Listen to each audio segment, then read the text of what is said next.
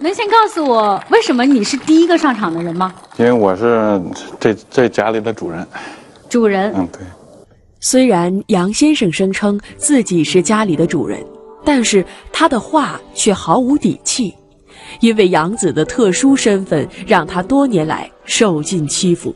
今年三十八岁的杨先生在十岁时被养父母收养，这一养就是二十七年。如今杨先生结婚生子，但日子却始终无法平静。杨子的特殊身份以及家族间的纠纷，都让他心力交瘁。看上去显得比较沉稳，看来在生活当中也是为家里的事操了不少的心。到底是遇到了什么样的问题呢？在我心里也挺乱的。现在呢，就是在工作当中干什么，几乎都想到这件事儿，家里的这些事情，都已经对你们生活造成这么大影响了。嗯，对。我也这么觉得。我现在我都知道这是这情况了。前一阶段呢，我妻子我俩呀，差点没离婚。是你们俩感情出现问题了吗？外部原因。养父养母还是其他的外人？就是我婶儿吧，一些的那个那个做法让我看不下去，影响到我们夫妻感情。都是因为他们家的就是事情，我俩生气。也就是养父养母的亲弟弟和弟媳。主要是我婶儿吧。那到底发生了什么，能够影响到你们的夫妻关系呢？以前我没发现，就是还是我妻子王平，就是发现了。我们每生过一次气，打过一次架呢，就是当着我们面，我这婶说一套，反过来到我养父养养母这儿呢，又说一套，他是来回给传话。我都知道他老是算计我们家，但是吧，面子上从来不识破他，不点破他。没有说啥的，没人也没人干涉。也就是在挑拨你们和你的养父母的关系。对，当初那会儿啊，暗中挑拨。等到以后到现在呢，就是这个明着来了。他跟我们闹这事儿啊，就是这个他老婶闹。您认为你的婶婶这样做，他是有什么目的呢？想把我俩从那个我养父养母那儿轰走，轰出这个家。那他们为什么要这样做呢？虽然说是家产不值什么吧，我估计这应该是这个问题。这你也知道，一农村老百姓土里刨食有多少钱呢？说白了，也就是说你们是抱养的，嗯，对，是外面外星人，嗯，对，是外面的人不靠谱，对，让我俩走还不能明说，走了呢，制造一我养父养母呢，不是没人养了吗？他肯定他得养啊。我们要是张嘴走了，他们肯定得要那个赡养费。就是说我们赖着不走，也不让你好过。那您刚才提到说他以前是暗着来，现在明着来啊？对。那看来这里面是不是发生过一些冲突的事情呢？发生过，直面冲突过。嗯，对。据杨先生讲述。自从妻子进门，婶婶便多次暗中挑拨养母和妻子的关系，导致婆媳关系一度紧张。最近一年，婶婶的女儿，也就是自己的堂妹，更是变本加厉，上门挑衅。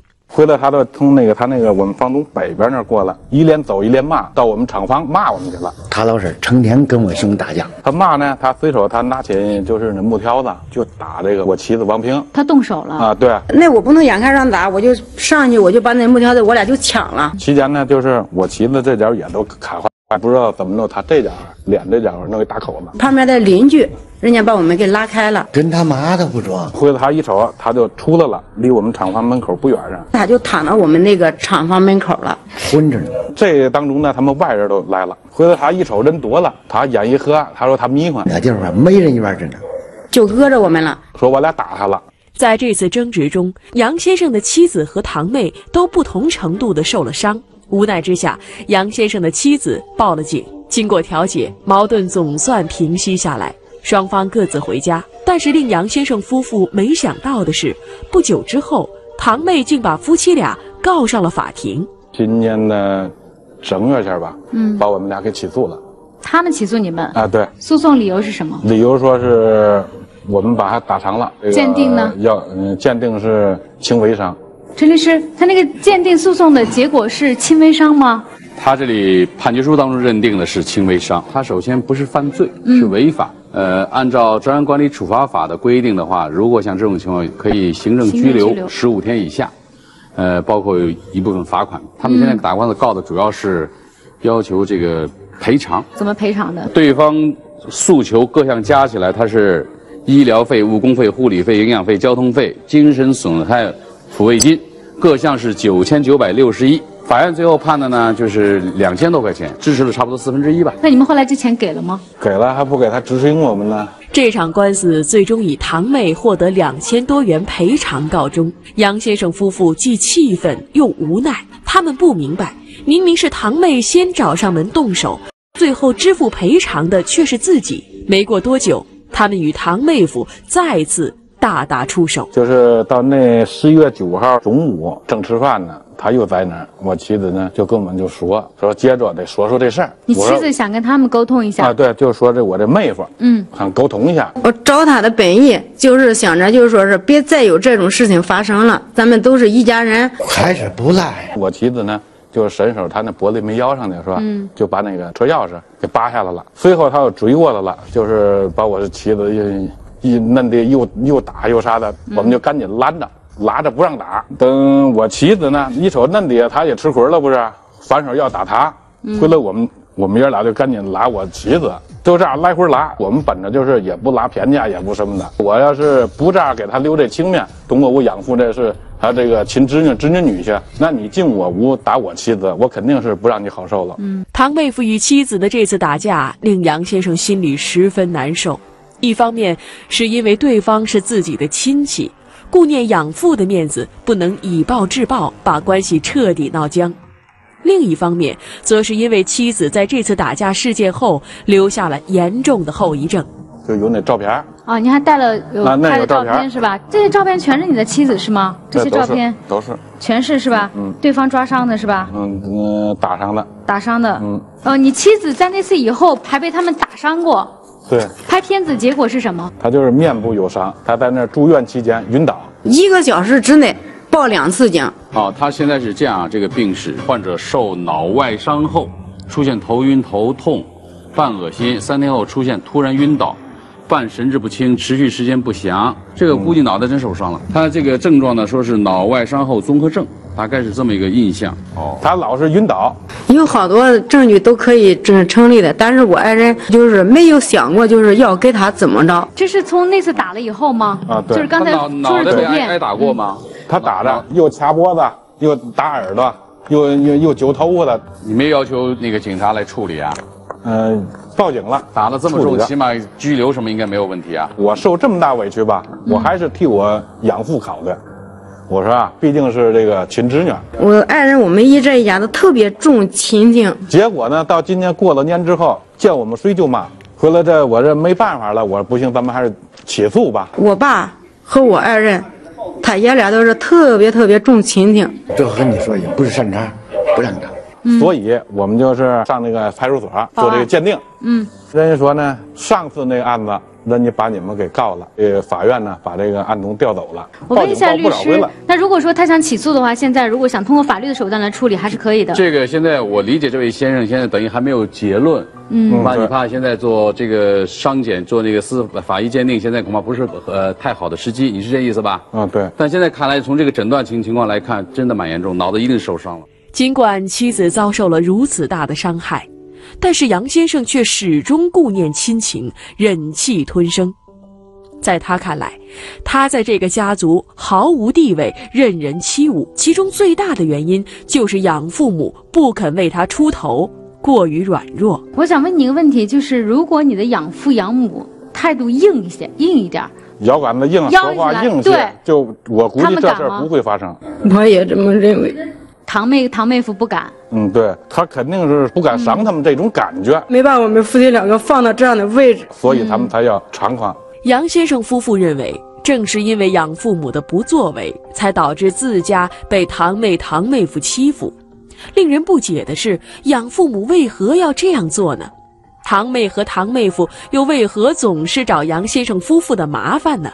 这一切，都要从一桩生意说起。你们是哪里人呀？河北省匈奴县，那叫河北人。嗯，对，河北人。但你们都在北京做生意，是啊这意思吧？对，对我那个堂妹嫁到这北京，就是平谷区。这是我这个堂妹，是我老婶的哎对他女儿，对，就说呢，说那个大哥那个学做橱柜去吧，做橱柜挺挣钱的。哎我这也没地方学呀。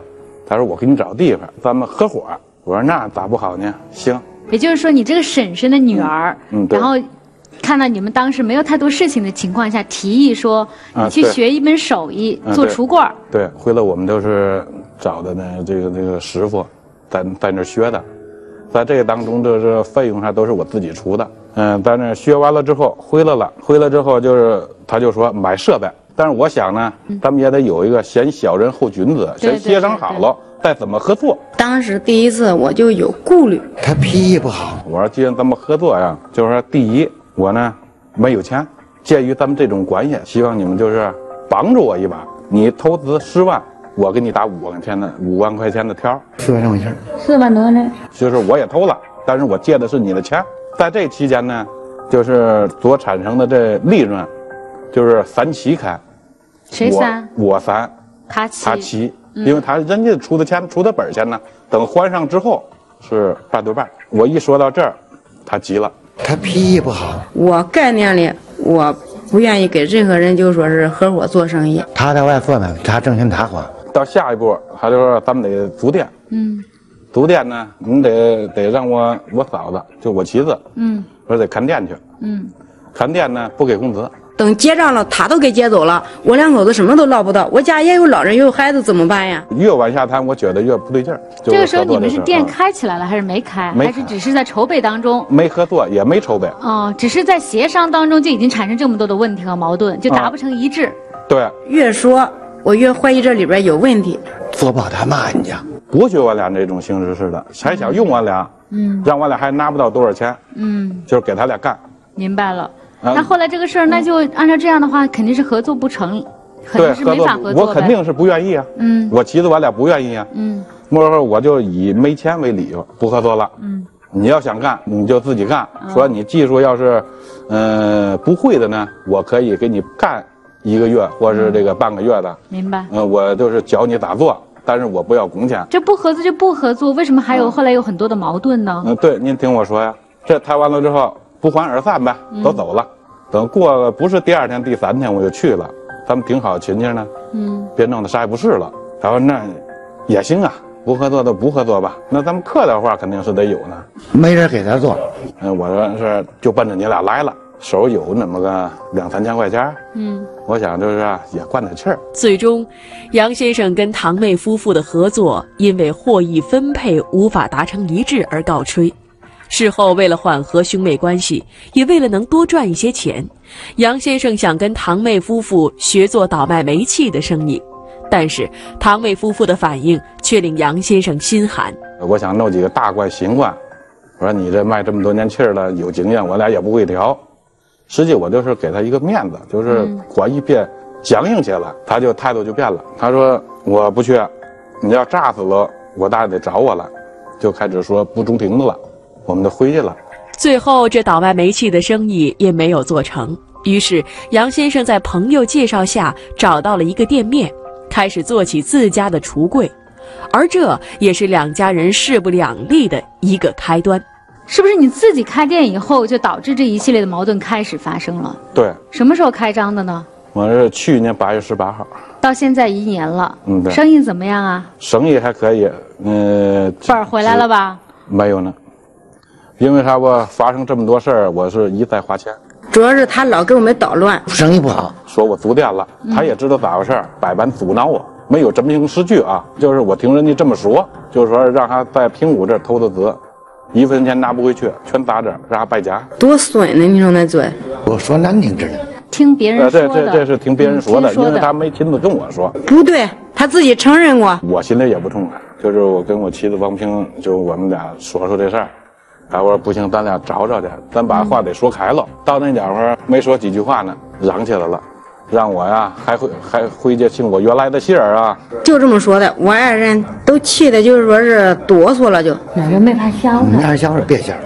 等于在骂你的这个过程当中，把你的身世这件事情对，抖露出来还还，诽谤我俩这都是堂妹说出来啊！对。我俩呢，一听也说不出来啥，开车就要走。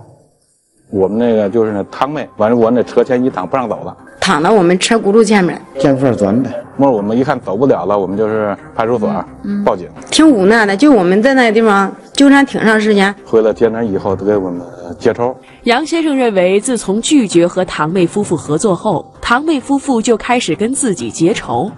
随后一年多时间里，杨先生遭到来自堂妹夫妇的屡次发难。最让杨先生意想不到的是，堂妹在杨先生的店铺的旁边也开了一家店。我们过几天八月十八号就开业了吧？我所卖出这些东西啊，就是没有什么原因的，都给我退回来。但是我在这儿我也没有什么仇人，不是？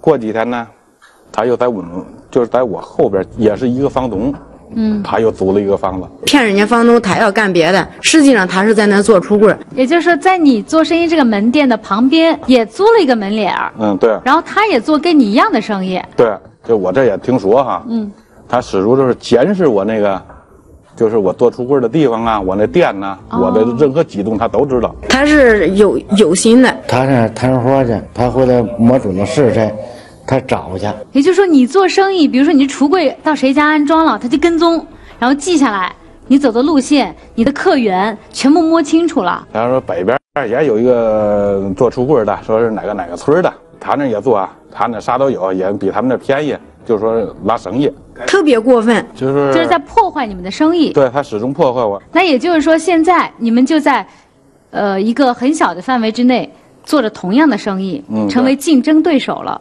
嗯，对，那在这半年当中，有没有因为这个发生过什么有发生过好多事儿。导致你现在工作都没法工作了？嗯，对，有一次我们呢就是这个这个夜里停电了，我妻子王平呢上后边找找房东去，他看见了，回头都追着我妻子骂。回来正好哪天呢，我们这门口那儿啊也不随烧一堆东西。那迷信来说，我们家人都是说在这个家门口烧东西那是不吉利的，我们就报警了，这警察就去了，去了到那儿瞅瞅，瞅瞅人家肯定第一怀疑对象也是他们，但是我没怀，我没跟警察说是，我怀疑他们。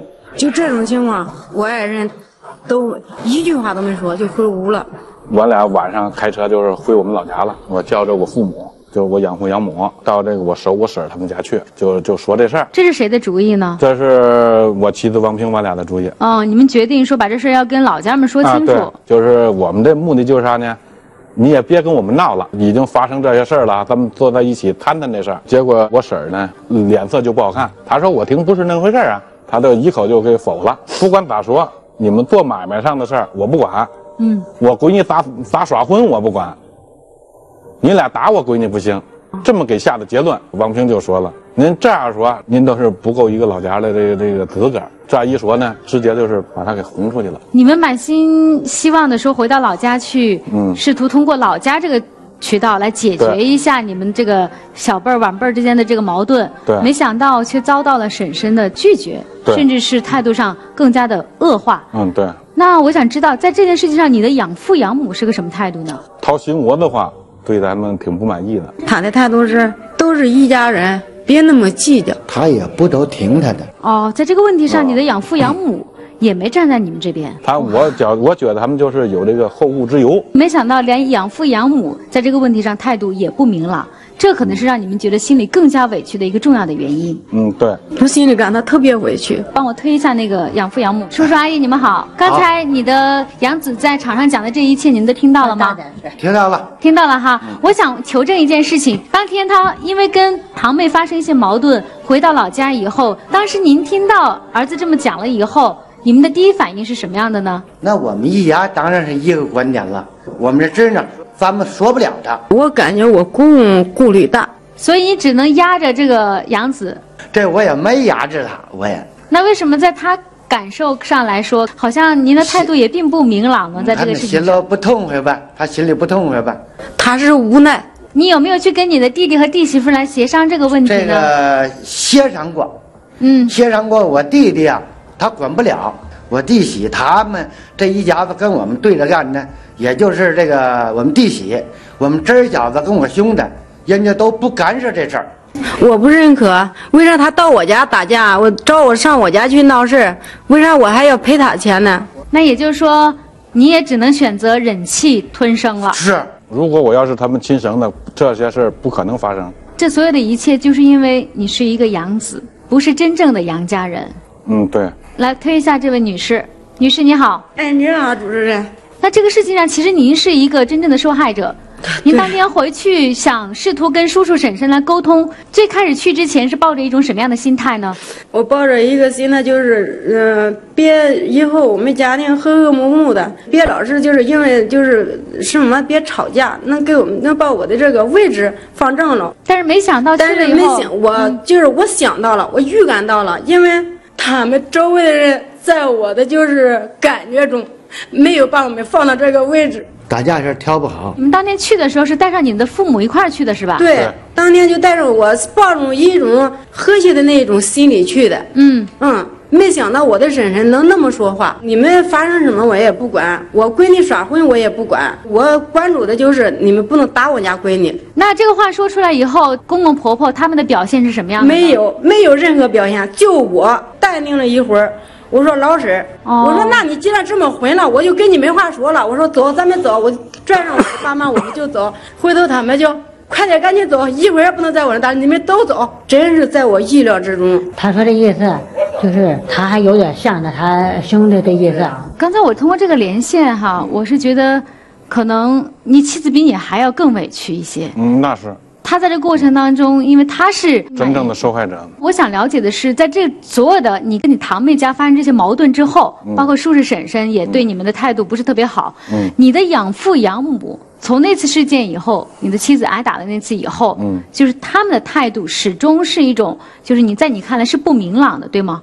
对，让我感觉不熟的是啥呢？嗯我也问过我父亲，就是这事儿怎么办？我我父亲说呢，说不了他，因为他太太混。他说你们上法院吧。今天你们家好像老家来了几个人吧？嗯，对。那我也采访一下哈，就是你们大概都了解这个事情吗？知道这个事情吗？听他说过，听他说过，你们参与进来了没有？就是有没有过来问问啊？过来过，过来过，见过这边的呃父母吗？或者是这边的叔叔婶婶呃吗？见过见过。没表现出一点点、一丝丝的，在我面前，就是说，别说是在我面前，在任何人面前，就是我爱人是养子。我看三姐是哭了啊、您当天去了吗我吗？当天也没去，我们也都现在还知道。哦，今天才知道了，我看你眼泪都流下来了，很心疼是吧？对，觉得这孩子到那边去怎么受这么大委屈？对。那你们当时怎么听到这个消息以后，没想过说去那边交涉一下呢？他的养父母这儿的呃兄弟吧，嗯我们也不认识，也说不上话。也就是说，这位先生，你娘家的人也帮不上什么忙。一般的情况下，我都不跟他们说，嗯，你，就是我俩自己处理。我我爱人特别孝顺，就是整不了。我说他这句话的时候，突然看到你的手，你这指甲是怎么了？是嗯干活的时候砸的是吗？不知道是，您这是嗯干活干多了。嗯，就是我看到他的手的时候，真的是一个勤劳的双手，嗯为了自己的小家过好。在我的心目中，我就是他的亲儿媳，我爱人就是他的亲儿子。我以为你们俩的夫妻感情会很好，但是刚才你一上来说了一句话说，我妻子因为这个要跟我离婚了。现在我呀，嗯精神也要崩溃了。所以说，我俩就是一来二去的，就剩我俩这都有这压力，嗯，就一想就干脆都别过了，你走你的，我走我的得了。他是无奈，中国有句俗话叫“柿子挑软的捏”，我觉得之所以被别人欺负到现在，就是因为太不敢去维护自己的权益，顾及了一个所谓的身份上的问题。其实人在法律面前人人平等，只要他真的伤害到我的利益，我们严阵以待的用法律保护自己，什么也不用管，他就怕了。影响到直接影响到我们正常生活了。挑不了，主要是咱们没有什么证据啊，咱们法律讲究证据啊。一会儿陈律师会教你，看我不懂法律，我都知道，骂你、打你，我随便现在手机就能拍照，就能录音，我录下来，我拍下来，我想办法收集证据啊。像他能够把你这样一个轻微伤都告上法庭，你妻子说了比他还严重，为什么不告呀？同样给他告上法庭。他说天天抢我生意，这没法没法拿证据。我不告你抢生意的东西，我告骂人、打人、使坏。没有法律万万不能，法律不是万能的。实务中，石刚，我跟你讲，像他碰碰碰上这种情况，还真是很难办。他这属于是恶人先告状嘛。没办法，也得想办法解决。石刚老师说的特别对。那像刚才主持人说的，包括你描述他抢你生意这种事儿，你有没有真凭实据？客观上就这么一个巴掌大的地方，有两家店，对人生意就是有影响。证据都有，但是啥呢？我们房东也好，我们跟前的民众就是做橱柜的这也好，嗯，但是人家都惧怕他。还在继续给我们捣乱，而且比以前更严重。如果你有证据，的确他跟一些路过的客人，我们北京话说这个截活咱们国家你去查部法律有个反不正当竞争法，突然一听，我突然就有个灵感，如果你这个案子能搜集到足够的证据的话，哎，我觉得你可以法院去告他呀。他对你这个也有一些呃轻微，哪怕是轻微伤，你也可以报警啊，可以要求行政拘留啊。那么你如果依靠法律的武器来保护自己，较之于你这样的无奈的忍受，那恐怕要更加有效一些。你否则的话，这哪天是个头啊？我公公就说：“那你就上法院去告他吧，这个不是正确的态度。”从把他抱上来以后，没拿他当外人看。打官司，我觉得赢不赢都是次要的，就是要把这件事让更多的人知道他们在怎样使坏，他们再想使坏的空间就小了。所以要清楚打官司为什么上台，为什么。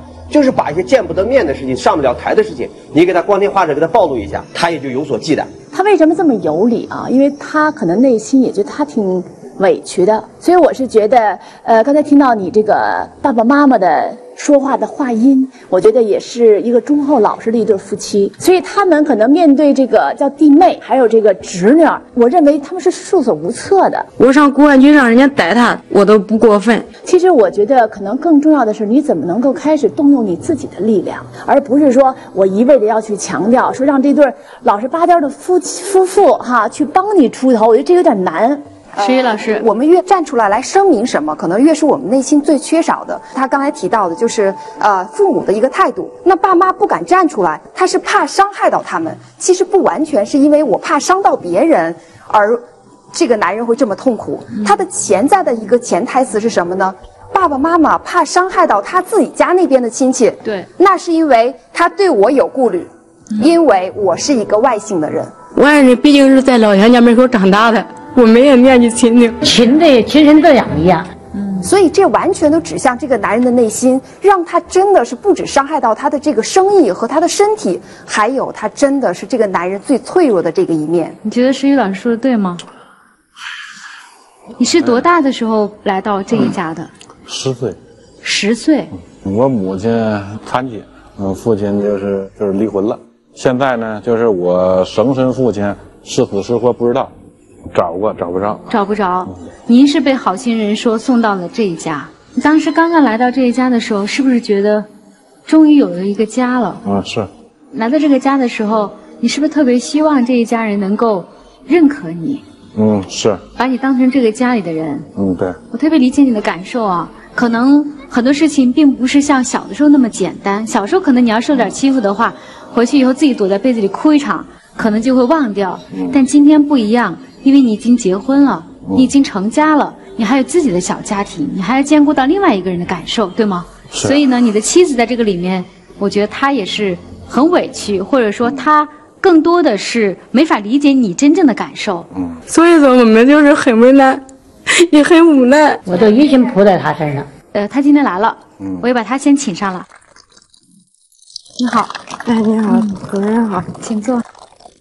一直在场下哭呢。从事情发生，我爱人从来就是在台上说这么多话，一句都没跟我说过。我没想到我爱人能说这么多，我也从来没看见我爱人掉过眼泪。我知道你也受了很多的委屈。嗯，我到咱们这个节目组吧，求助咱们这个栏目吧，我也没有别的请求，我只是想要一个安静的生活，我俩在这个家庭有一个正确的位置。在你看来，他们的想法是什么？他们所做的一切的目的，就是只想让我们从这个家里走出去。但是我们不能，因为我爸妈毕竟养了我爱人这么多年，他们也挺辛苦不容易的。我们作为儿女，我们绝对不能。直到有一天，我爸妈说：“你们离开这个家吧。”那我就没办法了。没有我爸妈这一句话，我们就是搭上我们全家人的命，我们也不会离开这个家。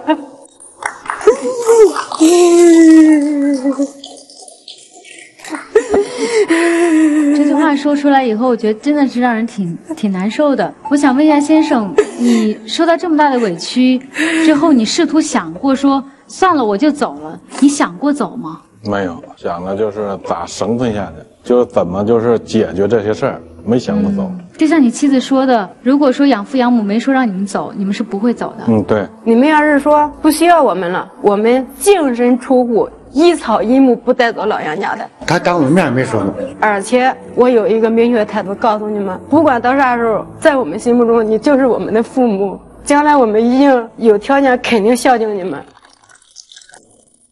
这张照片是小的时候拍的吗？这是我们结婚以后，这是我们结婚的孩子。以后，哦，这是你们孩子。嗯，那个是我爷爷。哦，这是爷去世的爷爷。对。哦，这是一家人。我把我儿子办回来，我连一点爱心都没有，我就想着拿他当我亲生哥儿养的一样。我觉得作为一个人来说吧，得有一颗感恩的心。嗯。因为人家老话说的特别好，生恩没有养恩重吧。你的几次发言已经博得我们现场观众的两次掌声了。的确是你的这番话说出来，让我们谢谢这位嘉宾的理解啊。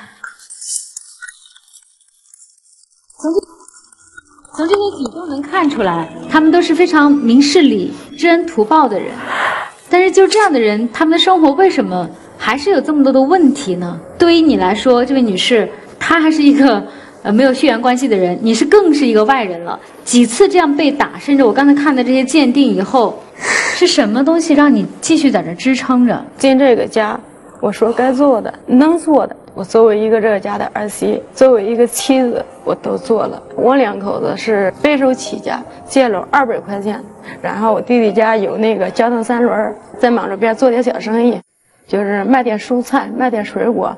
都是骑着交通三轮到市场上去拉货，就是早晨两三点的时候吧，拉了一车子货吧，还得自己蹬着走，走到半道我走不动的时候，我就坐到马路边就哭。零四年的夏天，我赚到钱，我第一个我先给我就是给我妈买了一对金耳环。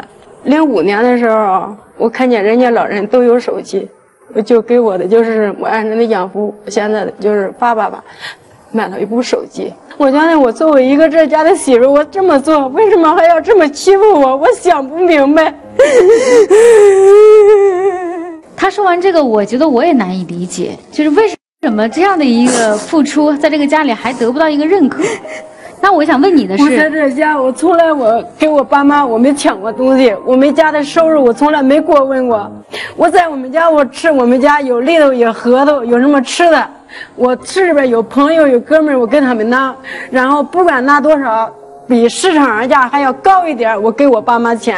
我想问你的是，你做了这么多，呃，有没有得到你公公婆婆的认可？我这么理解吧，嗯，我从一宫女，我现在可以升为哥哥了，就是你已经从宫女变成了哥哥。对，开始我进这家门的时候，我没感觉到这些。现在我感觉到了，因为我是外来外地的媳妇儿，嗯，有看法也是应该的，我可以理解。但是我自己做我自己的努力，让他们就是认可我，最后叫他就是说是信任我是他真正的儿子媳妇儿。后来也得到认可了，你觉得？现在我感觉是认可。没到毛领钱都不来。从现场来看呢，应该说每一个人对现在这个先生的妻子上来的这份孝心、感恩，我们都会起敬。但我还是想表达一个自己不太能理解的地方，就按理来讲，现在你们跟养父之间是非常独立的一个家庭，对，跟叔叔、跟婶婶、跟堂妹之间，他是另外一个独立的家庭。说不好听的话，大家念亲情，我们可以在一起合作，可以在一起相互扶持去生活，没有问题。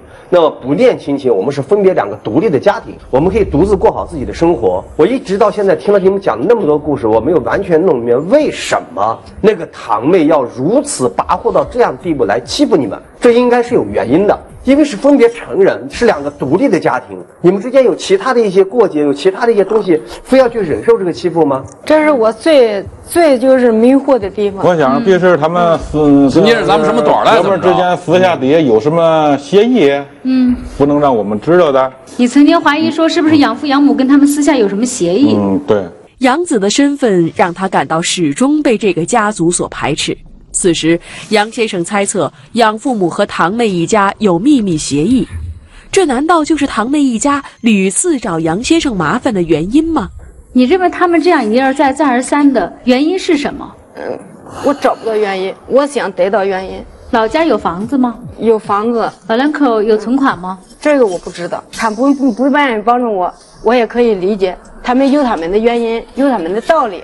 我感觉他们把自己放在很低的一个位置，应该是很平等的一种关系，但是他嫁在这个家里，他居然几次用，他终于承认了我，这是不是也是导致在这个家族当中没有被旁人看得起的一个重要的原因呢？把自己看得比较低的人，其实他也也会内涵的一种攻击。嗯嗯，因为他如果说用一种高的姿态去攻击的话，他可能会失败的可能性会大。嗯，他们就会一种低姿态来介入这个大的家族。我们这位女士为什么那么痛苦？哈，第一个呢，她可能认为我为这个家付出的很多。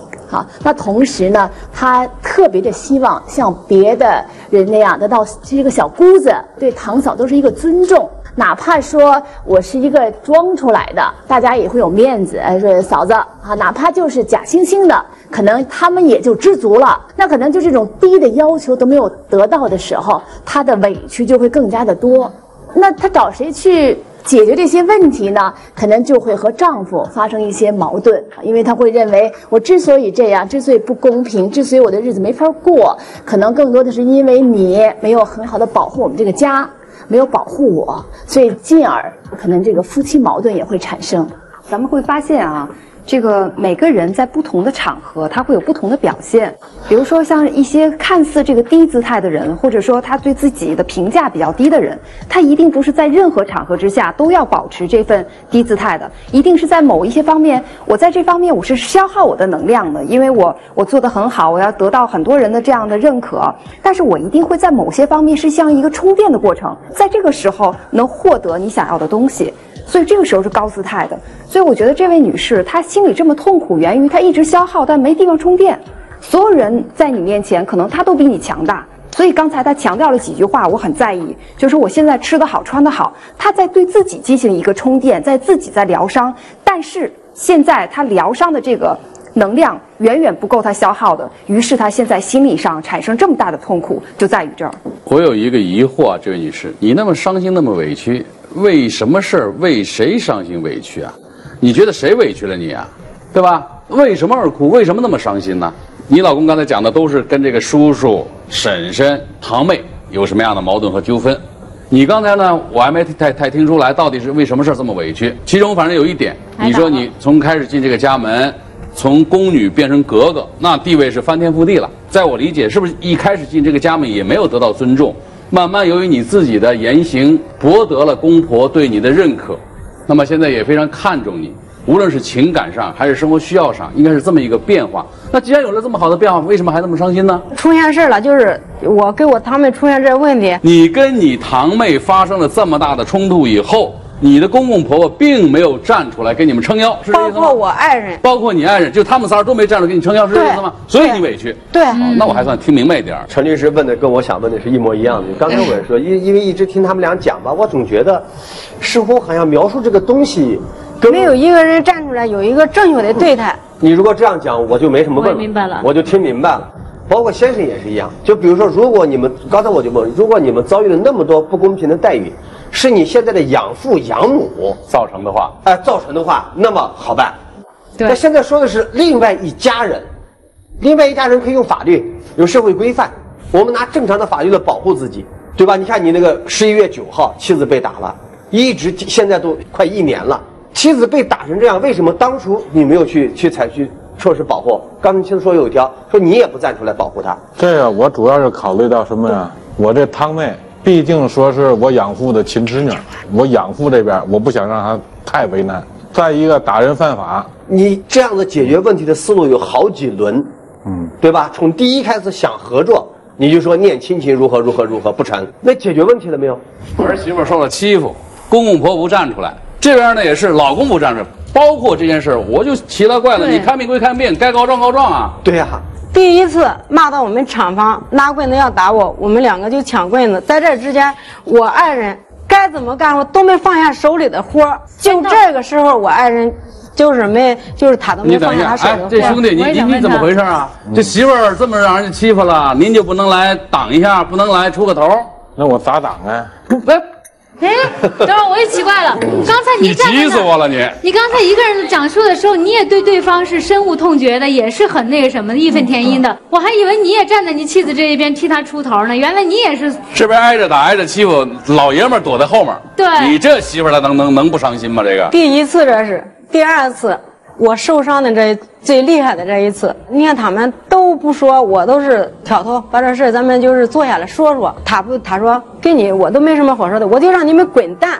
我说那你要这样，我就报警。他就要开车就要走，这个时候我就把他车钥匙给他拔下来。我说那咱们你就上屋说，那你就别走。你要不说你就别走。我爱人也不管，我爸妈也不管。你说那我们家总得过日子吧？是不是？我不能说我不言不语，我带着孩子我就走了。然后这人就是活的活的没完没了的。我要走了，人家知道我是什么怎么走的呀？这一次他就屁股后边追着我到我们屋里，到那地方就把我脖子给掐上了。掐着我脖子，就我爱人还有我一个就是叔叔吧，在我们家就是他俩给拉开了，这还不算哈。然后我拿一板凳，就是要要打他，我爱人上去把我给抱着了。在这个时候，人家找到机会了，拽着我头发把我打到地下，就那照片你们看看，就把我打成那个样子了。我爱人都不管，是我躺了半天，爬起来报的警。天哪，你这说半天，我们这才是听明白了，先生。我想知道的是，为什么在当时你是这种态度面对？他这个是咋回事不？渐渐他是这个，就是我那小叔，我们爷俩就是不让他打他，安慰一下他。回来呢，那打完了之后呢，反过来他一有空了，又又要打他。回来我又拦住他，这来回我俩是来回拉，不让他打。您能安慰他一下吗？啊，别哭了。别哭了，我这一年我都不知道怎么过来了。我想问你啊，妻子不哭，我们都觉得他该哭，因为他真委屈。那咱们也不能打人呢，只能说正常拉架。我告诉你啊，这个谁也别挨打呀。反正我要一说法，没有说法肯定不行。我给了我们这个家庭足够的时间，一年了。大家说够不够？一年的时间了，你说我够能忍耐的吧？为什么在农村呀？人家老百姓说家里面没有一个男人不好过日子。你们家呀，我这话说的实际上有点硬啊，说的是有一点狠。但是我真觉得你们家被那么大欺负，我先排除你的身份，可能你有难言之隐，你有不好表达东西之外，我倒觉得你真的不太像个老爷们儿。您刚才说你不拉偏架，您实际上是拉了别人的偏架。女的跟男的打架，其实我们大爷人一看都知道谁会吃亏。你拉自己老婆，不拉一个来伤自己老婆的一个男人，这个是有很大问题的。刚才主持人明显的提醒你两次，你才知道去安慰安慰自己的妻子。你只顾自己说理。我想，不管养父母什么态度，首先你得把这家立起来呀。你是你们这个家的顶梁柱啊。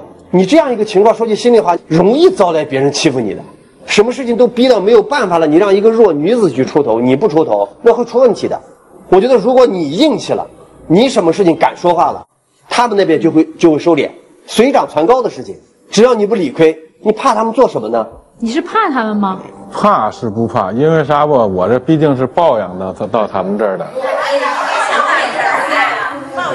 嗯，阿姨们都都都有意见了。大爷，我跟大家说一下哈，如果我有一点做的不对的地方、不妥的地方，比如说对我父母身上，比如说一级风，他敢给我弄十二级风，所以我就在这个家庭，我处处小心，我不不是说是不敢。观众有很多想说的哈，就是你们认为这个跟抱养没有关系是吧？我认为你这个抱养跟抱养跟根本就没关系。嗯，只要出现这问题，是吧？人揍你媳妇了，人男同志揍你媳妇，你不不敢上手，证明有点怂。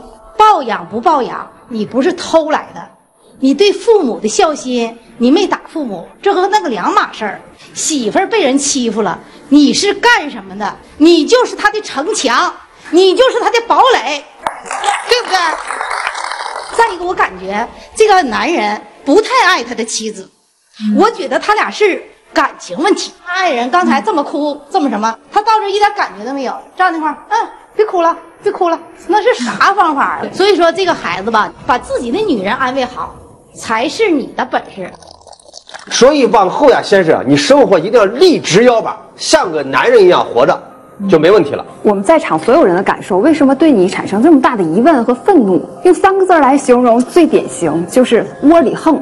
你在外面都软成那样了，怎么对妻子，然后能态度能强硬到这种程度？人都委屈成那样的程度了，所以说这让人实在是看不下去。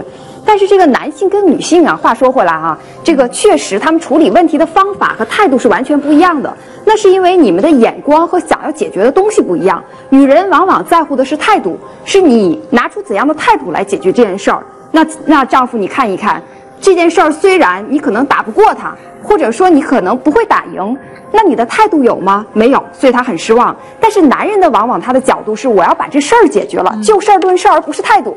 我只要把能把这个问题我好好的处理了了，管他什么态度都行。妻子，你认为呢？对。而你想要的其实不是为了他能打赢那个你的堂堂弟，我要的是他的表现。对，但是他们这个我们全家没有一个人有表现的。可能这位女士常常处于一个对外的角色，对，可能这位男士是老实巴交的。那么在这个问题上呢，可能更多的去讲理也好，去对外要去找个公道也好，可能是女性的主张更多一些。嗯，那么男性本身他是一个呃，一个是认为自己是养子，这是其中一个小部分。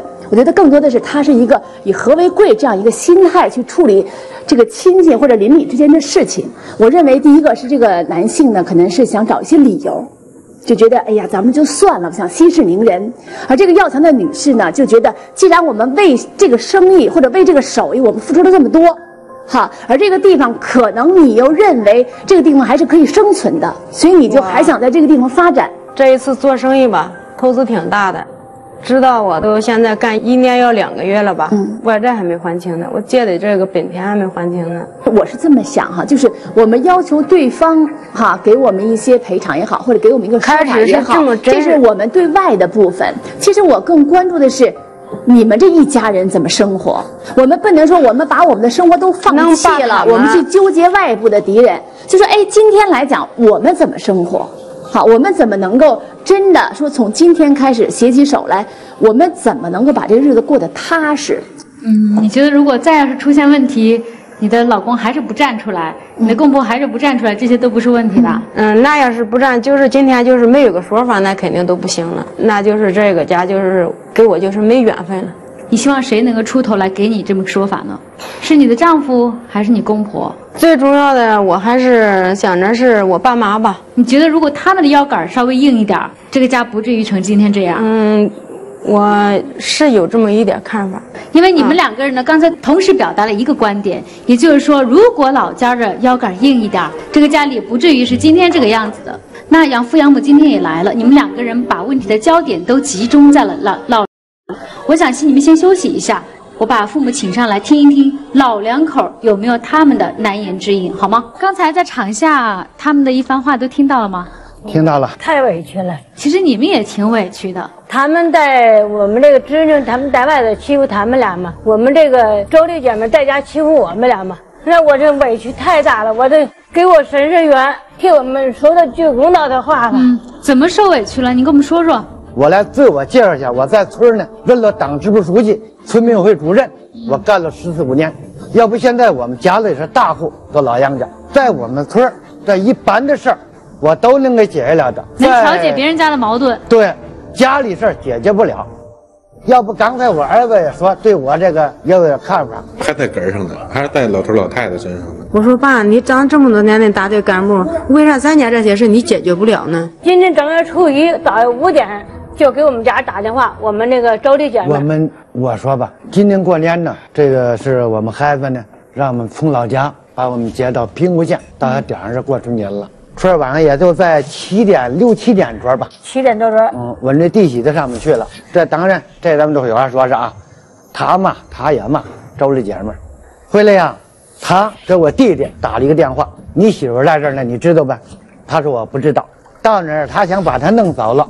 他就咋他也不走，等到两点，他跟我们家还抓那去了，他那头发给抓掉。我就在炕上躺着，他就就被我把我拽起来，就把我拽把来的头发拽掉一大把呀。我们家的也在场。当时我就报警了，是因为什么原因啊？都因这这小事他在外头打架吗？我认为是我妈到我们那过春节去了，她就是不愿意让我妈让我爸跟我们关系好。您这任书记的人了，又有这么大的调解能力，为什么他们还欺负你们呀？在以前，我们两家的关系也不烂，主要就是我们这兄弟媳妇儿。他就我这兄弟媳妇儿还跟他儿子跟他的丈夫也闹事儿。他在家是单挑，他说我在我们家我就单挑，没人跟我一起儿。你要有理，你丈夫跟你儿子不跟你一起吗？这会说不定会听的。捂热。这个在今年秋天，我们在这给我儿子帮忙，十棵梨树，两棵核桃树，他给我打了。打了之后，家里头熟人就给我来电话了：“你兄弟把你核桃打了。”我就立即返回去，问司法所给他下了一个传票，支不主意把传票给他送去。这个警察呢也认识我，把这传票我送去。那天晚上，他上我家去了，到那儿了，我怕他打我们家来，我把大门给锁上了。他那砖头子叮当把大门给砸了。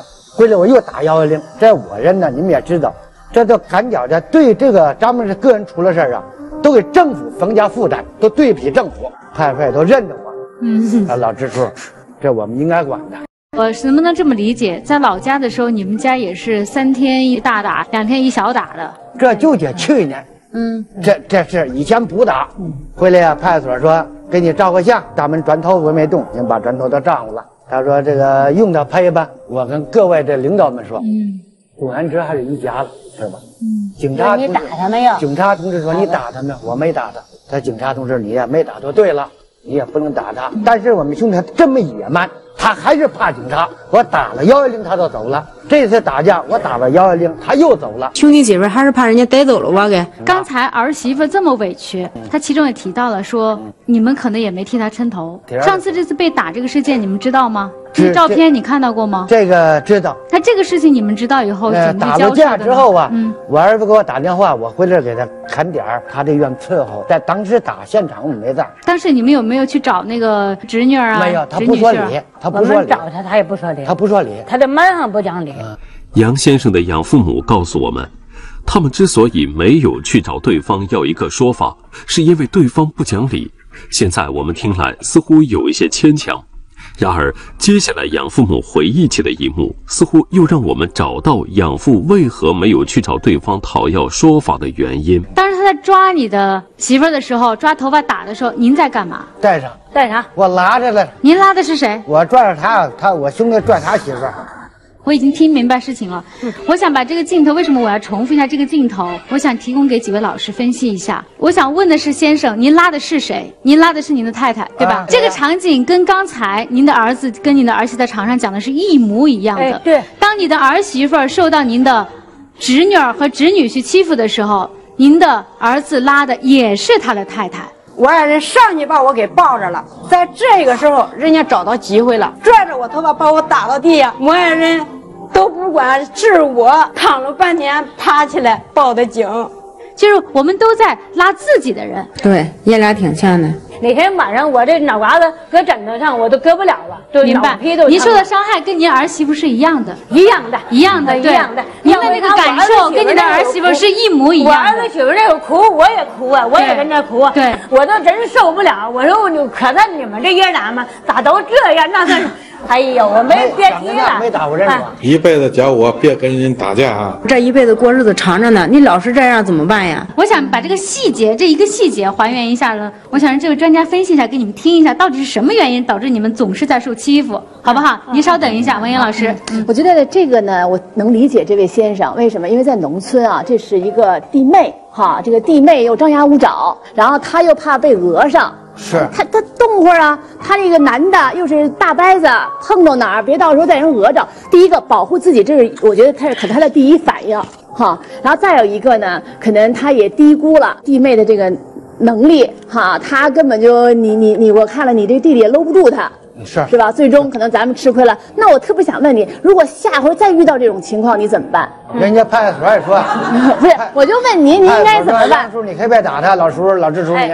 那不打他，你能拽着我吧？那你还有什么招拽他呗？不是不是，你别别拽他，拽我。你得扑到您这个太太的身上保护她，让她挠你呗。你连你个儿的妻子你都保护不住，你还能你你还当像个老爷们儿样吗？我也这么认为。我要把侄女给打，真要是打坏了，嘴儿不说啥，心里恨着呢。阿姨的状态跟儿媳的状态多么的相似，刚才一模一样。这家里的两个爷们的状态也是一模一样。对，你这老哥什么意思？您是让让别人打你媳妇儿啊？他让人腾出手来打。我那弟妹，我兄弟也打，拽啥呢呀？他把我妈给打了，都得应该拉着对方。要是外人啊，我肯定不干。我认可花这钱去，我认可负责这个法律责任去。为什么是抓住你媳妇儿，而不是挡在她面前？这样也可以拦住呀。他俩俩人看货抓住的，我俩是当面挡着，他俩都是看货抓你知道拦是什么样的关系哈？就是你认为是一个保护性的动作，是哎我抓着我媳妇儿，因为对方也在抓着他媳妇儿。嗯。但是这个挡和这个抓感觉是不一样的，一个是保护的，还有一个是阻拦。我给你还一个场景啊，人在打架，你把他这么搂搂搂住以后，你知道你你起了一个什么作用吗？他连招架都没法招架了，只有该挨打的份儿了。本来就受着委屈，你再拉着他，他更动弹不了了吧？老师说了，那如果挡着，他可能就打不着了，或或者你挨打，对不对？他俩都是看货着抓着的，这我兄弟俩是当面挡着的。挡着我咋那我咋那那么大抓着呢？说你咋挡的呢？我发现你们这你们这老两口刚刚才跟那小两口在这一点上是完全一模一样的。是吧？这一模一样吧？我替这个老支书说一句啊，其实事情一样，情形不一样。因为刚才那个你那个儿子遇到的问题是，是他堂妹婿冲进屋子里面来打自己的媳妇儿，他拦了自己的媳妇儿。你呢，刚才说的很清楚，交代的很清楚，是你的弟弟在拦他的媳妇儿，所以你在拦你的媳妇，是是吧？所以咱们不能把这个事情完全弄到一块儿去。但我也很同意刚才诗怡讲的，是这位老支书，你一定要记住啊。架当中最合理的方法，一定不是去抱某个人，是你要阻隔隔断。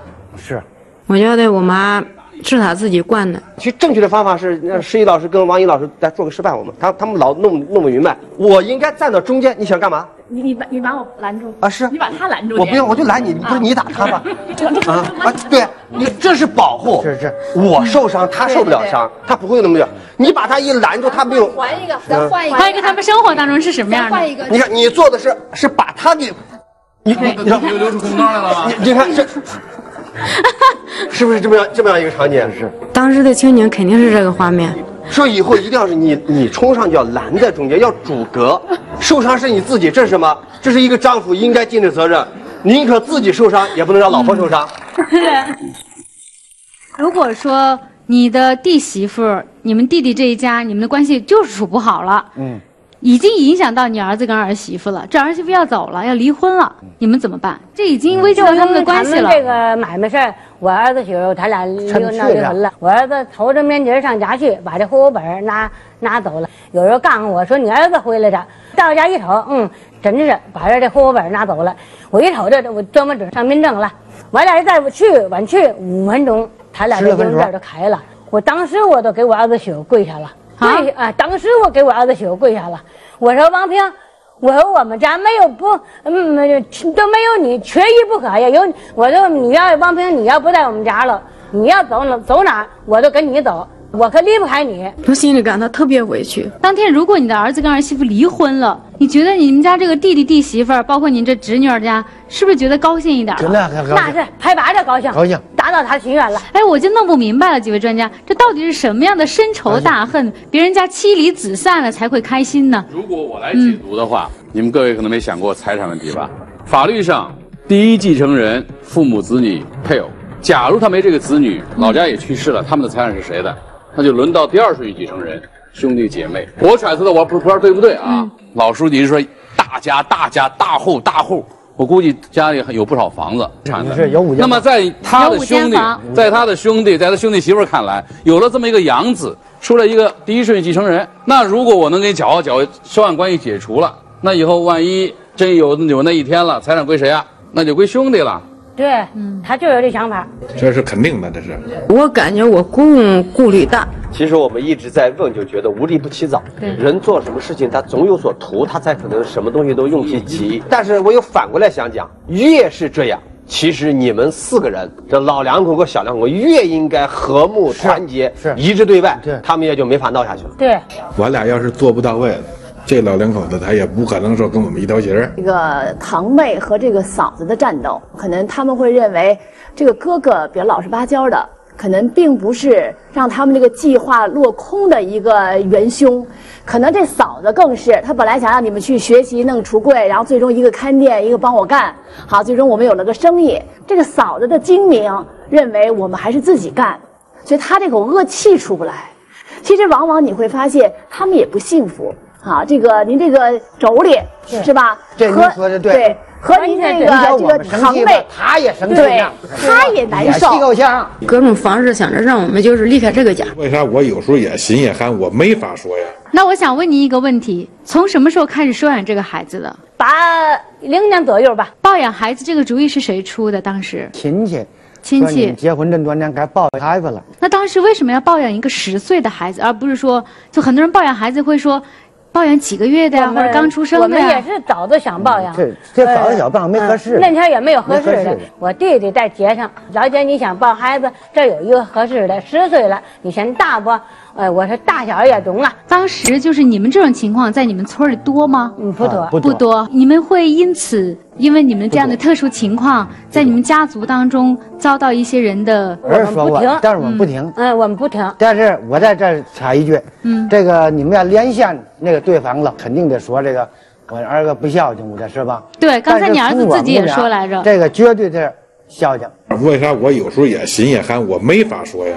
就我俩穿这衣穿服，这这鞋从根儿到头儿没有我俩个都是买的，就都是我儿子这鞋子练下来这屏幕前情侣鞋。都是我儿子媳妇买的，我儿子都不管这事儿，都是我儿子媳妇买。就说衣裳别穿这旧衣裳，都穿这这这这好的。让把旧衣明年你能穿几件衣裳？因为我们的关系特殊嘛。通过陈律师刚才一番话，嗯，我们似乎抽丝剥茧，已经剥到了一点和尚的东西了。就是你们的性格是一方面，另外一方面最重要的是这背后有着巨大的利益，可能他们就会有很多争夺的理由。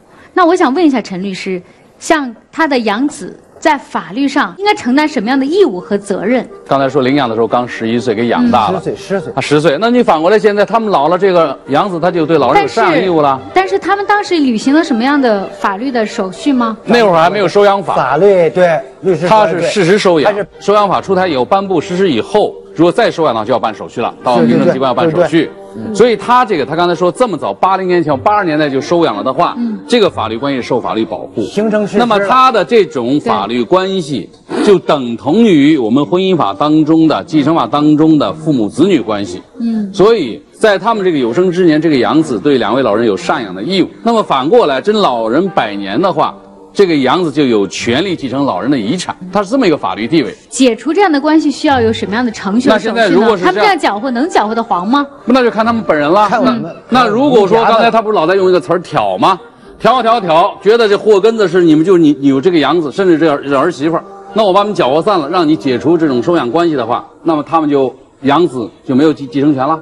我说你别听人家瞎说，这个解除也是需要在法律上。这个要要走手续了，要到法律法院要要去做一个解除的。那我明白。嗯，他们这么闹闹到今天，包括你儿媳妇对你们有很多的不满，就是你们想过跟养子脱离这种没有关系吗？没有没有，从来没想过吧？永远也没有这永远没有想法。你们的儿媳妇跟儿子表态的是，你们如果说没有说脱离的那一天，他们也永远是视你们为亲生父母一样是，双方都没有任何的在这个问题上存在疑义。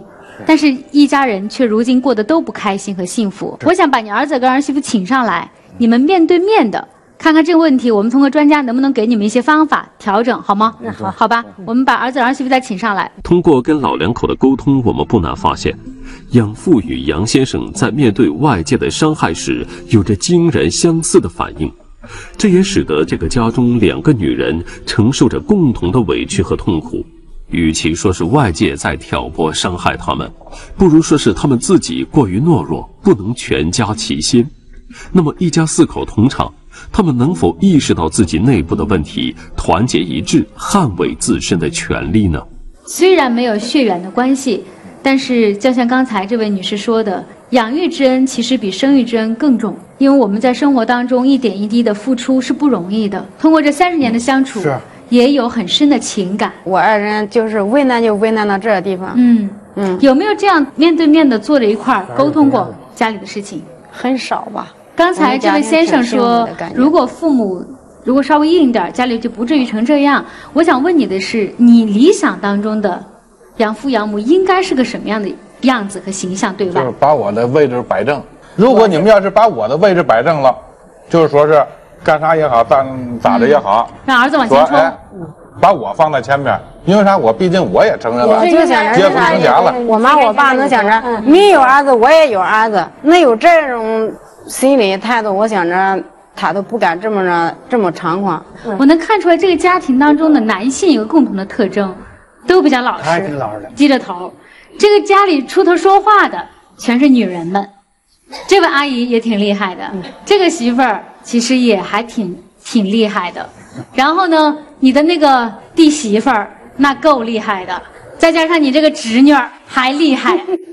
这一家人，别人说女人，女人，女人只有柔，这个家里才能够稳，才能够安宁。因为往往如果说这个女的真的每次都能够全胜，她可能家庭也稳定。可是往往一旦有挫败感的时候，她就会归到这个男性：你为什么不能帮我出头？你为什么不能顶天立地？那么这时候家庭矛盾就产生了。其实我觉得更重要的是，我们今天可能面对的另外两个女性，确确实实比你们彪悍点儿，可以承认吧？你们也我看硬碰硬，你们是够呛了，所以我们得以柔克刚。好，这种柔是什么？就是可能他可能会乘机让你们生气，攻击你们，然后你们每次都中弹，给一枪立立马倒下。在录制现场的另外一个房间，我们的编导接通了堂妹夫妇的电话。针对当初合伙做生意的问题，堂妹夫妇也给了自己的态度。哎，你好，先生。我是北京电视台青年频道《谁在说》栏目组的编导，你属于是他的这个堂妹夫是吗？你们是因为生意的原因动手的吗？他在南边开一个店，我家在北边开一店。他不批了，不让我们家开，不让我开店，我媳妇儿都找东家了，走到他家门口了，上来就使棍子打。对，派出所派出所都有记录。是你们提议让他去学这个橱柜的吗？啊，对呀、他都偷问我了呀，亲戚我都偷问你来了，你帮帮我，说的可劲拿劲儿的，我倒没想到是狼。各位老师们，嗯，就抛出我们二九住院这笔开销，嗯，其余的都没大事儿。住他院对住院这点开销住，院另外不是把我这个盒子栗子打下了，你必须得赔偿我。你那个那个老哥，你的意思，那住院费就应该有个对那个他们来赔偿，是这意思吧？那当然。焦点在这儿是吧？对您认为呢？赔偿我们。您刚才说什么？人家给你赔了钱，人家还给就是要你的命，把你就是天天，你要是今天要钱是吧？就哪天砸你，就天天去捣你，给你捣乱，就打你。这句话该说到点上了，就是我认为你们家这个问题还是要那就这样继续下去吗？那你说这钱都不要了是吧？我不是说不要了，那肯定得是有要付一个出很大的代价。嗯，不能让他，咱们再给他留下后患了。就给我我爸我妈还有杨长，你们有个什么的，就是有个什么对策。我觉得今天来这儿，其实就来商量这个对策的。你这句话说的非常好。对，今天来这儿，我们外人没有来，我们今天要在这儿商量好，到底我们是一致对外呢，对吧？是去争取那笔 补偿费呢，还是我们今天调整好，把自己的日子过好呢，对吧？怎么过呢？这是接下来你们这个家庭首先要解决的问题。你们现在生意受到了堂妹和堂妹夫的干扰。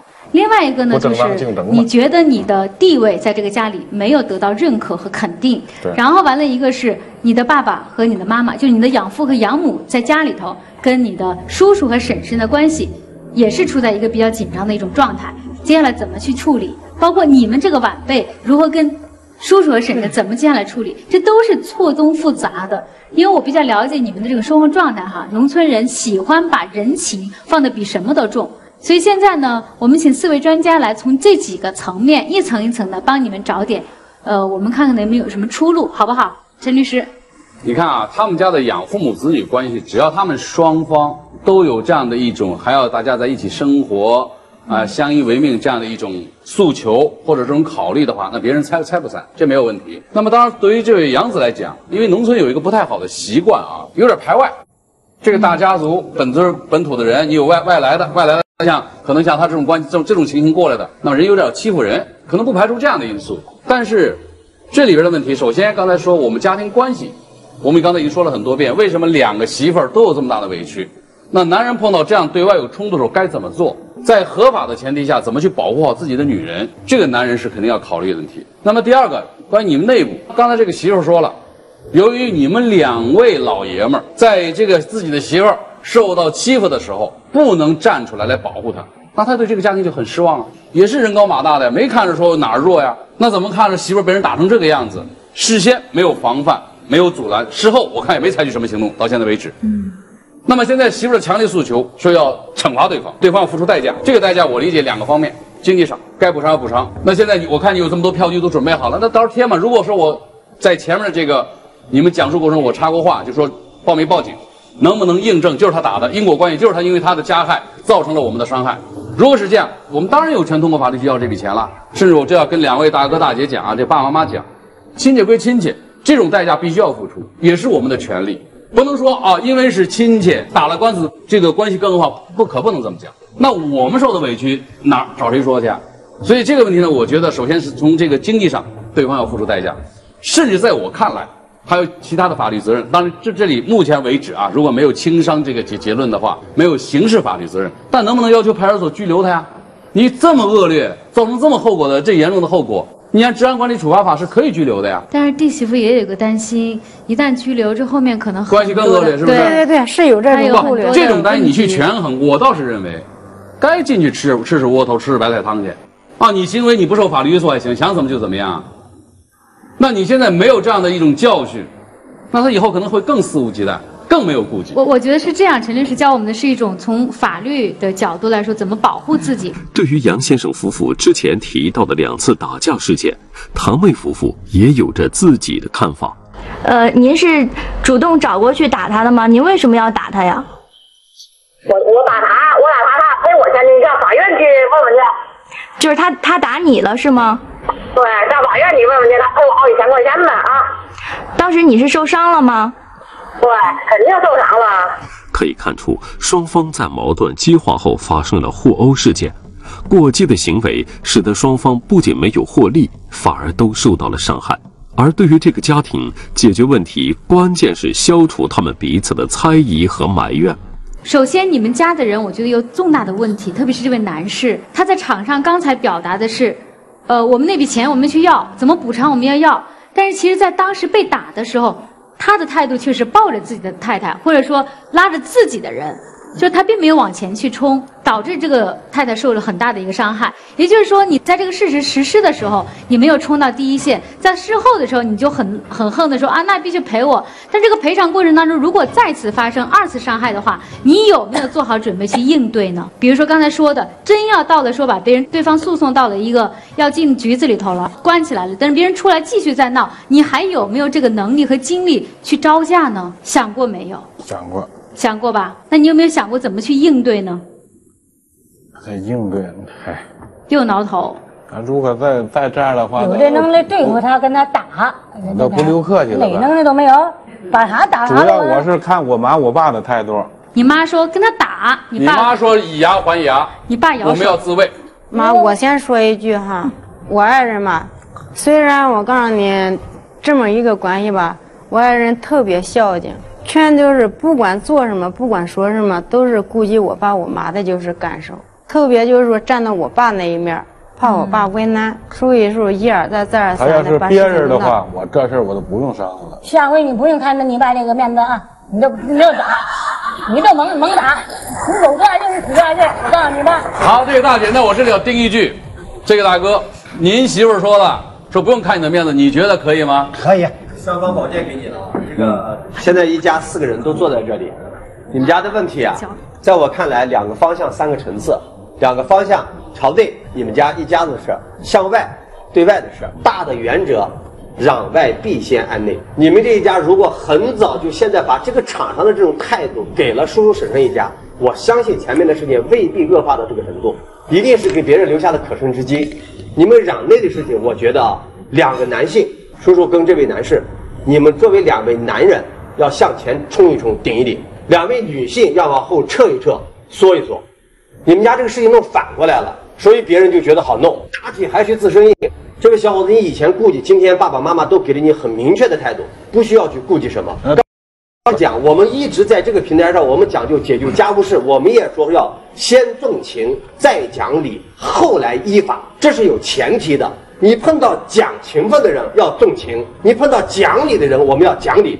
现在明摆着，你们现在讲出来，至少从你们这头来讲，对方是不念情也不讲理的人，干什么？坚决的依法保护自己，否则不可以的。所以你们两位男士一定要有。我想这个叔叔也因为自己是村支书，可能有很多的顾忌，没有必要。越顾忌别人，这个事情会越闹越糟。如果你们俩把这事情摆清楚了，只要这个态度很明确，他们自然不会有太多地方可以做什么。反过来，我来说两位女士，我可以看得出来，你们似乎在家里面在方方面面的力量好像比他们俩强一点。但是我跟你说，你们俩在台上表现的这种对两位先生的不满也是问题，就会让对方觉得，哎，这样做管事儿，可以闹得你们里面不安静。特别是这位女士，我知道你们很多委屈，很多无奈，甚至已经去准备离婚，这不正好让中了别人的圈套吗？这在心理学当中叫拿别人的错误惩罚了自己。对对对。说你们俩要在什么地方表现的都是，哎，我们是团结一致的。你们再怎么闹，我们对我们先生没那么大意见。他们闹了就没有这个动力了。一定要停下来，因为这事儿你绝对不能离婚。我告诉你了，因为别的人也离不了婚为。啥我给你跪下呀？绝对不能跟那你们俩离婚。你别那样说我就不说了。你们不可以让别人觉得他们这样折腾你们有效，不让他嘲笑我。他们的目的就想把你们给折腾散了，他们获利。是，哎对。结果你们正中下怀。我就这么跟我爱人这么说的。我跟我爱人说，我就是有好多事吧，我一跟他说，他就不行了，他就说那咱俩离婚吧。节目我是希望对方的婶婶和对方你的堂妹都能看到。我说两个，一个我对对方的婶婶想说，我说我们今天因为你们没有来，我们听的是一面之词，我们也未必可能他们说的都是合理的，但我想说一句话，您说的对，什么时候都别把人逼急了，逼急了吃亏的是自己，特别是这位婶婶，你现在纵容自己的女儿跟自己这样一个哥哥闹事儿，似乎好像得了利。你试想一下，养成他这样性格，他跟别人能这样能这样获利吗？他很会吃亏的，纵容自己的女儿这样做，将来吃亏的还是他自己。这是我给这个妈妈说一句话，我跟这个堂妹也想说，我不晓得你们之间因为什么过节，是因为抱养这层关系。刚才律师已经明确的讲了，他现在享受的法律上面的权利跟义务跟亲生无同而异，不要再在这个地方想做文章，到最后害的是自己。因为做生意人都是和为贵。您这样一个跟人不依不饶的做，看起来好像占点小便宜，其实伤害的还是自己。因为你们要在一个地方生活，但愿你们听到之后能去想一想，做什么事情都不要做的太过。你跟自己的一个有血脉之情的人或者有亲情的人都能搞成这样，你让顾客怎么相信你做生意能做好了？所以这位男士，你要从这个角度上去想这个问题，不要一味的去想。我说人可以以和为贵，人可以与人为善，但是不能窝囊，不能没有原则。你现在做这个事情就觉得完全顾及了对方的感受，顾及了爸爸的这个东西，没有原则的在推让，就变成了窝囊，容易被人欺负的。所以把内和外的事情分清楚以后，你们把这个事情回去好好的想办法解决，不是很难的。只要你们有心了，他们就害怕。你们光想做而不去做，光口上要干什么，不采取实际行动，对方就觉得你们不敢做。只有有了行动，才可以震慑别人。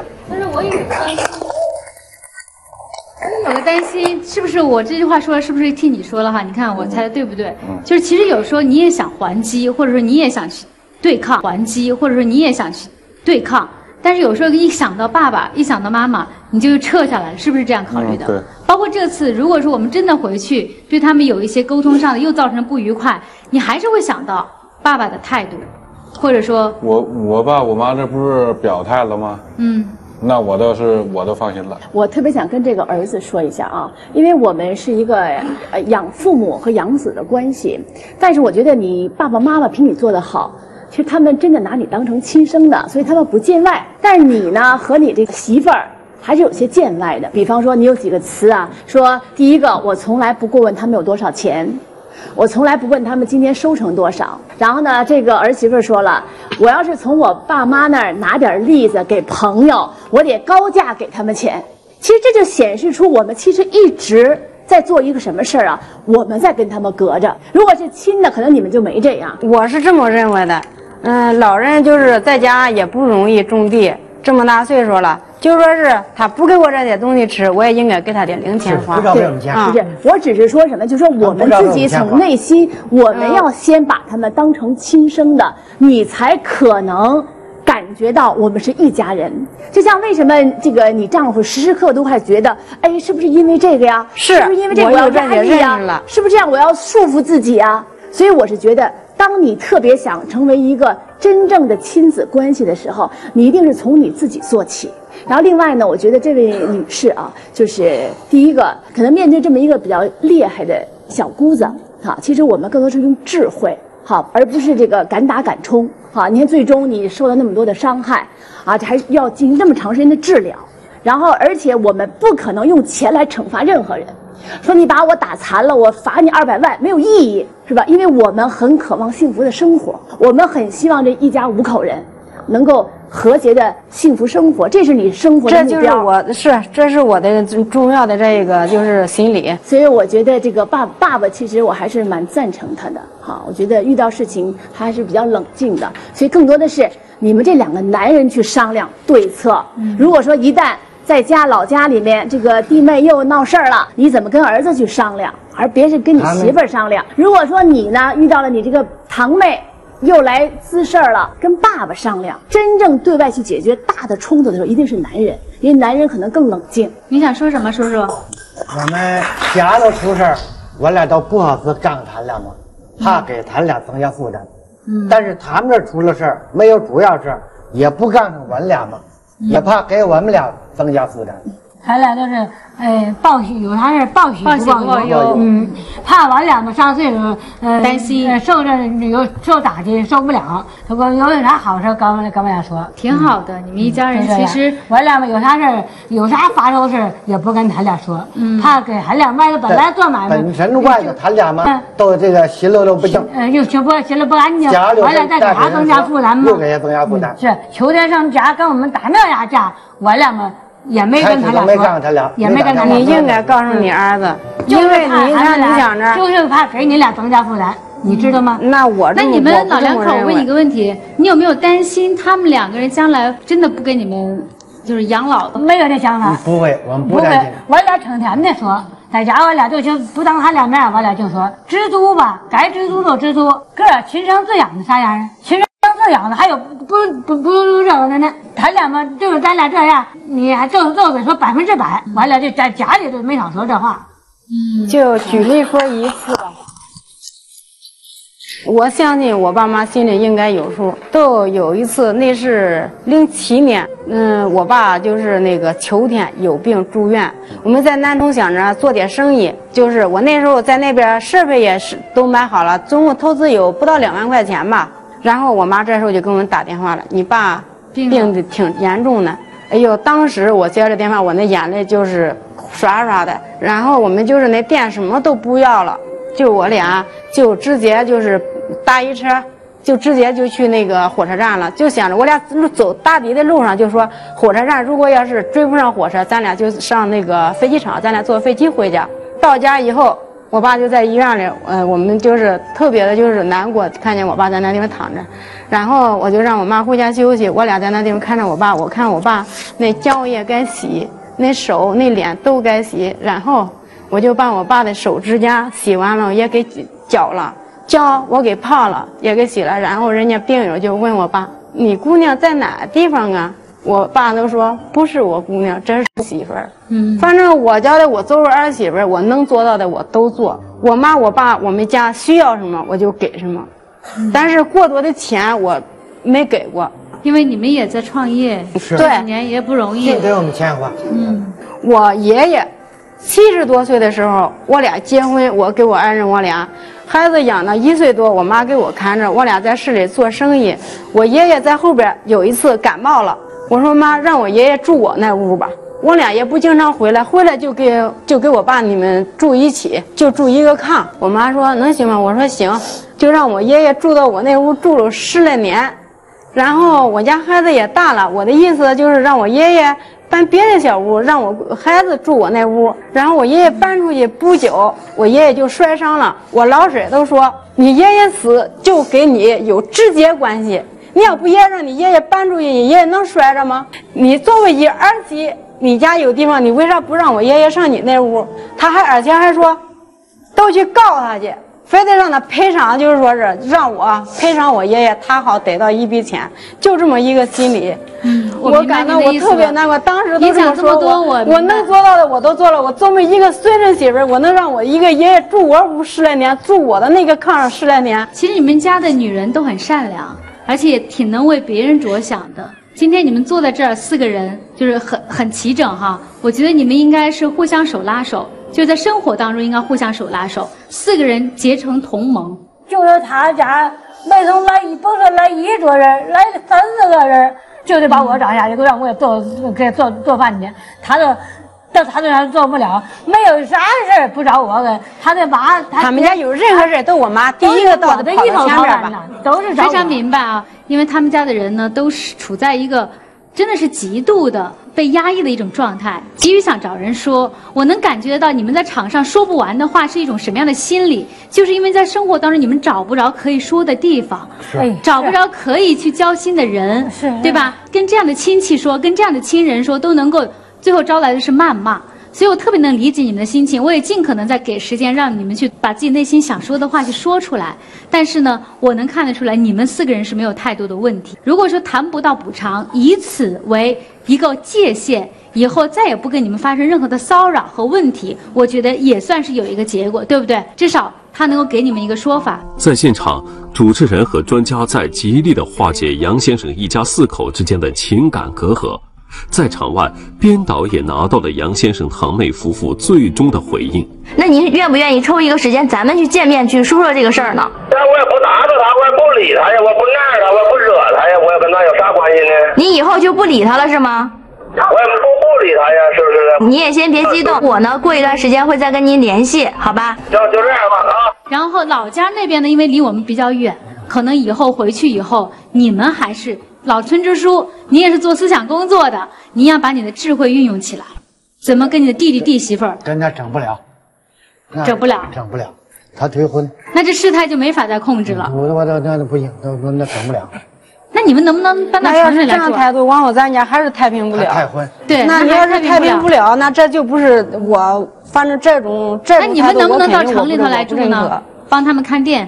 中，我们是在这边呢。是在这儿，我爸妈是在这边呢。哦但是他常回就我那婶儿一人跟我妈们闹，我黑半夜打我妈打两回了，我肯定我我把我父母我接过来了，我不放心在他家呀。哦长期在你们这边是吧？那不就结了吗？那就不来往租了一个我呗。那个我那个堂妹老是上我们那个去去骚扰，去那个去上我们那闹去。堂妹这个问题，我们编导跟她解决一次好吗？我们真的是觉得你们太善良了，好不好？但是呢，前提条件是你们四个人一定要团结一致，抱一个团体。对，一定要抱一个团体。对，我相信你们能做好，因为有很好的情感基础。各位记者放心吧，放心哈，放心，我们一定抱一个团体。我想告诉你的是，其实还有一个好消息，就是来之前哈，你们二老呢，因为这么多年来也是付出了不少。其实小两口真的不错，他们在城里打拼挣点钱不容易。他刚才说还有很多的外债，包括他还要看病，但他在听说我们今天要录这个节目哈、安排在今天录制呢，小两口还特意的去买了一份礼物。这个我给大家说一遍，嗯就是我妈帮我带了好几年孩子，嗯，我特别感动我妈，感激我妈，谢谢妈，你辛苦了。谢谢，谢谢。我我带了我孙子十年，我孙子一生日零三个月了家了，现在我孙子十三年。十三岁了，现在在今年个这下后下半年上苹果去上学来了，一直都在我家，我带他在老家，呃，我带他十岁，我带他在在家。他也很感谢你，一直在念叨您的好。嗯嗯，我儿子媳妇儿呃这是永远说永远忘不了我，没有成天说永远忘不了我。要冲我，呃，我这以前冲您，所以他没离婚。要是我以前去过妈，我没想妈，对我这属于这样的。我儿子媳妇就这么说。我妈吧，就是我家孩子，就是我让我妈看着。说一句心里话哈，我是不情愿让我妈看着，但是我妈跟我爱人，就是都要求要看我家孩子，就是要虽然我不情愿让我妈看着，我妈给我帮我看着这么多年，我也特别谢谢妈。别人说我应该的，我当奶奶应该看的。你你别这么这么说，你要这么说没有应该的，养儿子应该的，养孙子没有应该的。我其实相信，我相信你们家有这么浓厚的情感做支撑啊，外面再大的困难都会战胜。我也相信这都是暂时的，一定会都过去的。希望你们通过找到我们，虽然在现场对方没有来，但是我相信在场下，我们一定会尽我们最大的能力，好不好？谢谢给你们想办法。谢谢谢谢。这个什么东西？拿给妈妈看一下，看一下，看一下。我妈其哎实挺好美的，我给我妈就是别管就是好了，就是给我妈买一项链，我妈手镯、耳坠，话都有了，就是唯独就缺这一个。等着咱们家外边没有了，我再给你买个大点的、好哎呦点的。，咱你你家外头这买卖这么没有钱，你还给我买这个，我是实在来来来来，让儿媳妇给你我还没带上。我还没给你买呢上，，您坐着，儿媳妇给您带。我还没给你什么，我也没给你还买。你说你哎，您不是帮带孩子吗？这个应该的，我觉得应该的你。给我买，我是实在是不乐人。就这个好看吗，阿姨？好看，好看呀！哎呀，这么大一个，这是白金的，你根本不知道他买的这个礼物。他跟我要钱就给他呗，反正都是哦都有钥匙，拿孩子包括给我妈买谁谁花谁拿。包括给我爸买手机，给我妈买健身环、买衣服、买手镯，就是都是买回来。哎呀，今天我给给妈买这个了，嗯，行吗？行，那肯定行，就是孝敬爸妈。那你今儿赶作为他的赶紧现在问他这个行不行？对，肯定给爸妈给妈。在我们这个舞台上，每天来的都是矛盾对立方。今天来的是一家老实、诚恳、勤劳、善良的一家人，他们都互相的相亲相爱。我倒觉得这四个人给我们这个观众们，包括我们的电视前观众们上了一课，就是只要我们谢谢别，妈谢谢你啊！妈没给你买啥，你买都给我买。我实在不需要，对不起你。我屋子上我不需要妈的屋子上的就是东西，只需要咱们一家到我齐齐们家，我什么也没给你买过日子就行了。什么也没给你买过，你给我买的这一袋东西，我实在对不起你。妈有这一句话，我就心里边，我就想就是我最大的安慰，也是我最大的财富。今天这四位给我们上了一课，我觉得就是不是说所有的只有矛盾的双方才能来到我们节目现场，就是这样的一家相亲相爱的人来到这里，我觉得我们传递的是另外一种能量。只要我们踏踏实实的，我们能够携手把日子过好，我相信外面再大的困难都不是困难，对不对？我也希望节目录完以后，我们能够真的帮到你们，把你们家这些后顾之忧都解决掉，好吗？我们栏目组还有礼物送给你们，这是我们栏目组呃一个热心观众，他也是我们的爱心传递者，叫九康九康老师，他是一个书法家。我也希望这个字儿能够拿回去挂在你们家里，然后永远象征着幸福。你们一家从此以后能够和和美美的过上幸福的生活，好吗？谢谢好吗？行，好，那你们拿着吧，你们拿着吧，来来来。让让爸爸来来来来冲上来呀！大老爷们儿以后啊，家里所有的事儿，爷们儿往前冲，好吗？好，谢谢你们啊！谢谢谢谢谢谢谢谢谢谢。在节目录制结束后，我们节目组依然会持续关注这个家庭的情况。正如专家所说的，攘外必先安内。我们真心的希望他们一家四口能够团结一致，共同抵挡外面的风雨，过上平静幸福的生活。